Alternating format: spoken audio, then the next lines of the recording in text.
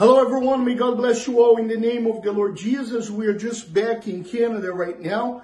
And tomorrow, Sunday, we not only we are going to give out for free the water that was consecrated on Mount Sinai, but we are going to pass it on the revelation that Bishop had on Mount Sinai.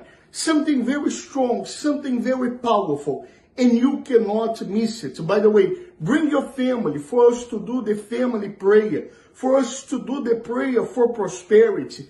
Because this year, my friend, it's going to be the year of the difference in your life. That the promises of God will be fulfilled in your life. If you can, arrive a little bit early, okay? In all our churches here in Canada, we are going to give out the water consecrated on Mount Sinai, the water that was impossible. Something impossible happened in that place. Water came out of the rock. And the same impossible that happened in that place, it's going to happen in your life tomorrow, Sunday. And don't forget, after the service, we are going to have the YPG event something very special is going to happen tomorrow, okay? May God bless you all in Jesus' name.